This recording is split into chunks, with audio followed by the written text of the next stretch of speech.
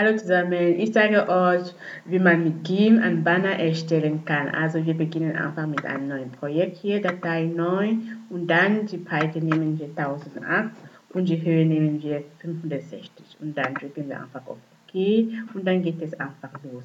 Mit diesem Werkzeug A schreiben wir einfach unseren Text. Also zum Beispiel schreiben wir, hm, ups,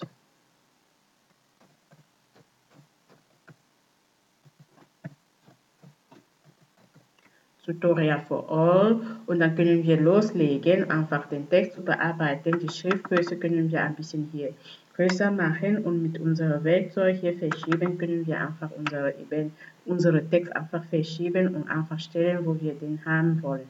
Zum Beispiel hier können wir in der Mitte setzen und mit dem Werkzeug skalieren können wir einfach unseren Text so skalieren, wie wir haben wollen. Also, und wie Sie sehen, also wir skalieren einfach unser Text hier und dann sehen Sie schon, was wir damit machen. Also, Text wurde schon skaliert und wir verschieben nochmal nach oben und dann könnten wir einfach nochmal weiter skalieren, wie wir eigentlich haben wollten.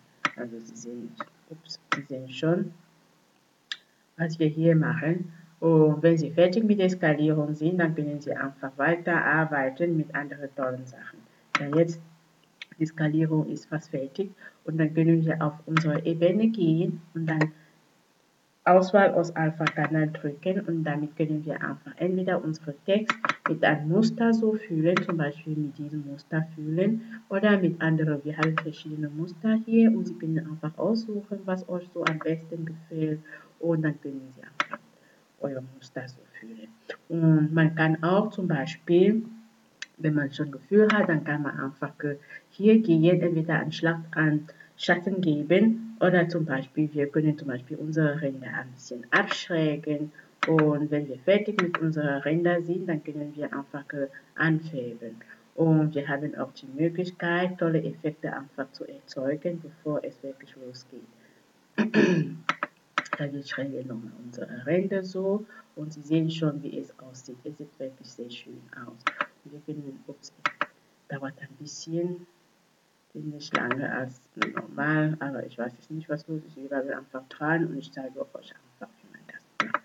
Also unsere Ränder und dann ist es fertig. Dann können wir einfach jetzt zum Beispiel ein bisschen Schatten da drauf machen, Licht und Schatten und dann zeige ich euch, ups, nicht das hier, Entschuldigung und Licht und Schatten. Jetzt, oh, Entschuldigung.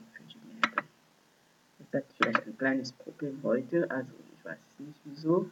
Oder ich zeige euch einfach Licht und Effekte, wie man Licht und Effekte so mit GIMP erzeugt und dann geht es los. Ich hoffe, dass, es, dass das Programm reagiert. Also. Und ja, das Programm reagiert nicht mehr. Ich weiß nicht, warum es so ist. Aber wir können zum Beispiel einige Sachen nochmal weitermachen, zum Beispiel Weichzeichen, Bewegungsschätze können wir einfach machen und dann drücken wir einfach, die Werte sind schon hier angegeben, dann können wir einfach auf OK drücken, dann sehen Sie einfach, wie es ist. Und wir können nochmal wiederholen mit Bewegungsschärfe. Dann wiederholen wir nochmal, bis wir den Wert haben, ja, das wir eigentlich haben wollten.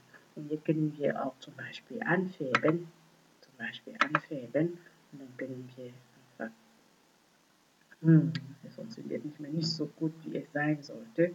Also, ja. Entschuldigung, es tut mir wirklich sehr leid, dass äh, das Programm heute ein bisschen. Also, wir, ich mache eine kurze Pause und dann wiederholen wir nochmal.